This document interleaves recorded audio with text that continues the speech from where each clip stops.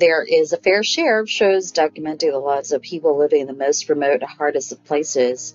Port Protection is certainly one of such places, as displayed in a documentary reality TV show of the same name on National Geographic.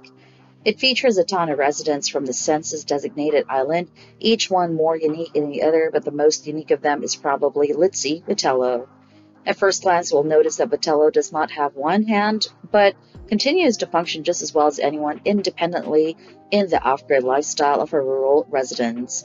She's famous as the one armed Mexican in the small town, but did something happen to her? She was completely missing from the most recent season of Port Protection.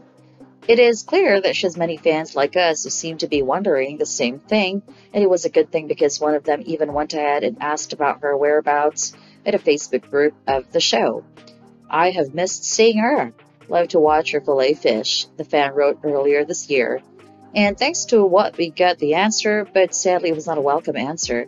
It was none other than her husband, John Bean, who answered the general query about her, confirmed later by other fans that also were aware of the sad news. He also revealed that she passed away fighting ovarian cancer. We also found her obituary published in Ketchikan Daily News a little too late, as it revealed that she had already passed away almost a year ago on June 25, 2021, in her home in Port Protection at the age of 62. It talked about how she was survived by just her husband, John, as both her sons had sadly also passed away a lot longer ago. Litzi was not just an outdoors woman, but an artist who primarily worked with polymer clay. Her obituary also talked about how she enjoyed beach calming and just walking on the beach, listening to good music, especially live music, talking to strangers, traveling with her husband in their van, supporting women in any way possible, spreading love. Litzi seems to have passed away just a few months after the death of her close friend and Port Protection co-star Gary Muehlberger. As John also revealed, she went into surgery for her cancer the day Gary died.